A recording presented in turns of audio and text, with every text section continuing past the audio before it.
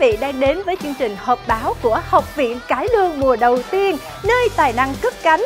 Và bây giờ thì quý vị ơi, hãy cùng theo chân Bảo Anh để cùng xem là không khí của buổi họp báo ngày hôm nay sẽ như thế nào nha.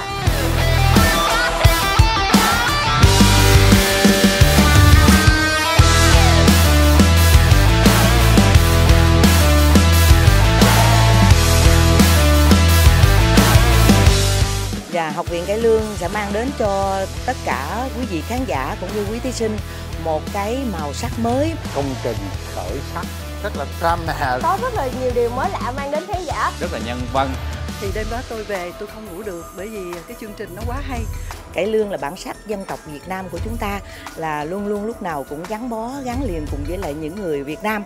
Và giữ gìn những cái bản sắc văn hóa để có thể giúp những cái giá trị văn hóa của Việt Nam chúng ta có thể duy trì phát triển và lan tỏa những cái giá trị này ở trong nước và đến quốc tế. Được ca cải lương rồi cả nhà ơi. Chương trình học viện cải lương rất là ý nghĩa và mang nhiều năng lượng tích cực cho quý bà con cô bác anh chị khi xem chương trình học viện cải lương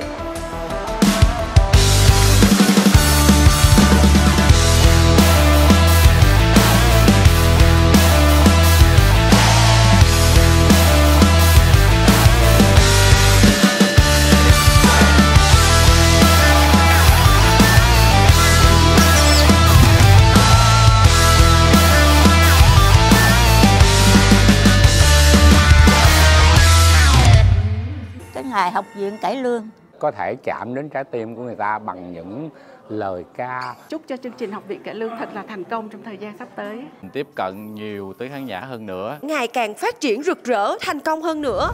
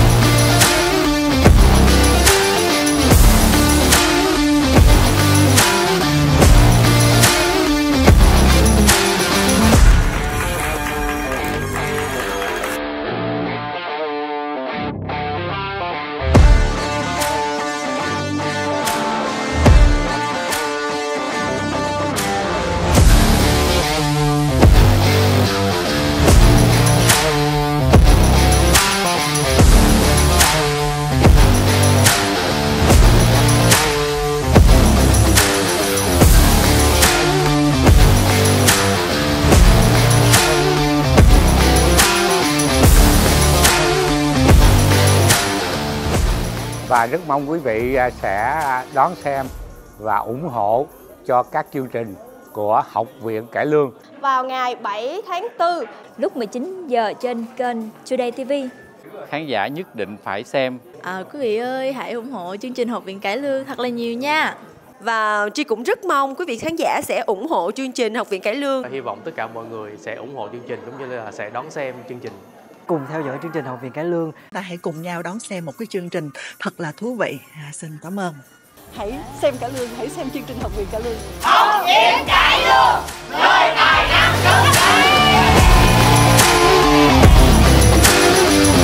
không biết nói gì hơn? Chỉ cầu mong quý vị vui khỏe có sức khỏe suốt một năm và làm điều gì cũng được thành công hết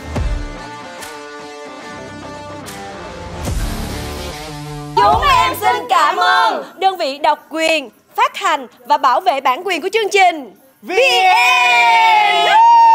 Chú dễ thương lắm mọi người ơi. Vui, vui, vui, vui, vui thôi. Trời, tôi không có sang trọng nghe nè Xin lỗi. Rồi, anh sang trọng đi. biết gì hết trơn Nâng niu, nâng niu Nâng niu Nè, anh nâng giỏi cho em nói sáng luôn ông nè. Chưa khui được nữa. Đây, đây, đây là Em VN. đã mở ra được rồi. Mọi người biết sao tôi chọn màu đen không? Tại vì đổ dơ lắm.